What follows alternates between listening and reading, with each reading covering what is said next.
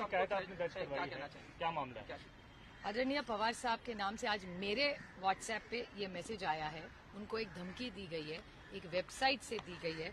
और वैसी ही धमकी और भी इस रिलेटेड जो अकाउंट्स है इस पे आई है।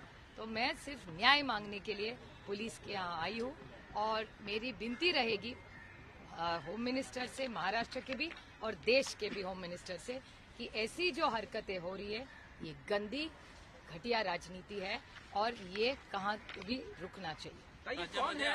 जो ये थ्रेट दे रहा है कुछ इसके बारे में बायो में मैं कुछ नहीं मैं कुछ नहीं कहना चाहती मैं सिर्फ़ न्याय मांगने आई आपने सिक्योरिटी की मांग की है पवार साहब के लिए?